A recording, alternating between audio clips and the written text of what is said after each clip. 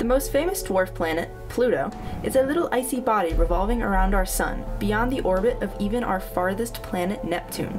A space probe, called New Horizons, was launched in 2006 to study Pluto and beyond. It took an entire nine years to reach Pluto, giving us new information about the small world and the beautiful images of its surface seen here. One of Pluto's features includes a lighter section on its surface in the cute shape of a heart. Some like to joke that Pluto's heart signals its love for its moon Charon. Charon and Pluto are involved in a rare cosmic dance. Since Charon is about one eighth the mass of Pluto, which is a lot for a moon, the force of gravity in between Charon and Pluto is enough for Pluto to make small revolutions as well. They both technically orbit around a point that is in between the two bodies. Not only do they orbit each other, they are also tidally locked. This means that they both make one rotation in the same time that they complete one orbit. I'll show you why this is so cool. If we go down to the surface of Pluto and watch the time pass, the sun and the stars rise and set like they do here on Earth. But Charon doesn't. It looks like it sits still and hangs in the air, a constant in Pluto's sky with an ever changing background.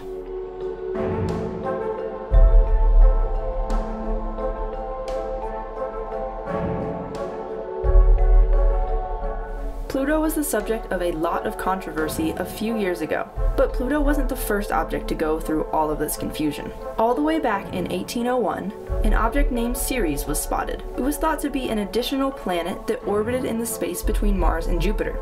Slowly, they began to find more and more objects in Ceres' orbital neighborhood. By 1860, they had discovered more than 60 objects in this area of our solar system. Instead of calling all the objects planets, they decided to reclassify them as asteroids, resulting in the asteroid belt in between Mars and Jupiter as we know it today. Then, in 1930, Pluto was discovered in the far reaches of our solar system, and considered the ninth planet. But later, more objects were found, just as it happened with Ceres. An entirely new classification was developed, and in 2006, five objects became the first to be considered dwarf planets.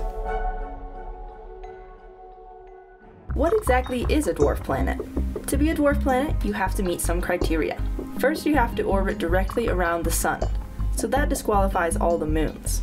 Next, you have to have enough mass so that your gravity can pull you into a shape that is close to a sphere. This disqualifies our asteroids. They look more like misshapen potatoes than spheres. Lastly, to be a dwarf planet, it means you don't have enough mass to clear your own orbit. This disqualifies our eight planets. Take a look at the orbits of the planets. Notice that there aren't many asteroids crossing their paths. Now notice the dwarf planets.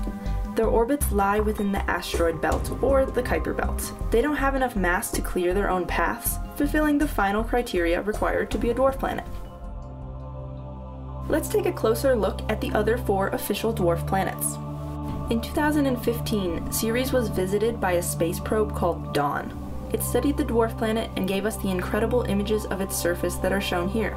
Ceres is thought to have been formed during the very early stages of our solar system. One of Ceres' craters is the Occator crater. The bright spots are salty deposits of sodium carbonate, suggesting that there may have been water long ago or thermal activity beneath its surface. Ceres is the largest object in the asteroid belt, by a lot. Ceres alone is one third the total mass of the entire asteroid belt. This shows how small most asteroids are because Ceres is still smaller than Earth's moon. In fact, all of the dwarf planets are smaller than Earth's moon.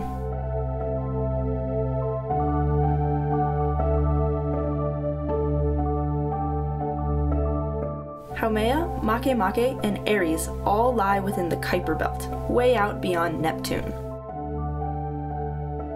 Haumea looks a bit different than the others. It is shaped a little bit more like an egg or a skittle. Haumea rotates extremely fast. Its days are only 4 Earth hours long. Imagine if Earth rotated that fast, giving us about 2 hours of day and 2 hours of night. No space probes have ever visited Haumea, Makemake, or Eris, so we don't have images of their surfaces. If you view the solar system from its side, the planets orbit on a similar plane, like peas on a dinner plate. However, Pluto, Haumea, Makemake, and Eris are more like peas that you flung off your dinner plate entirely. Their orbits are not only more inclined, but they are more elongated than the planets, making their distance from the Sun change drastically at different points in their orbits. Eris, for example, gets so far from the Sun that its methane nitrogen atmosphere freezes and falls to the ground like snow. But at a different point in its orbit, it is close enough to the Sun that the atmosphere warms up and thaws. Other than these official dwarf planets, there are candidates for other possible dwarf planets in our solar system that are currently being studied and discussed. In time, there will likely be more than the original five. Some candidates have fun names like Sedna, Quaoar, and one nicknamed the Goblin. Even with our impressive technology, we still don't know all the objects that lie within the Kuiper Belt. If you had the chance, what would you name the next dwarf planet that is yet to be discovered?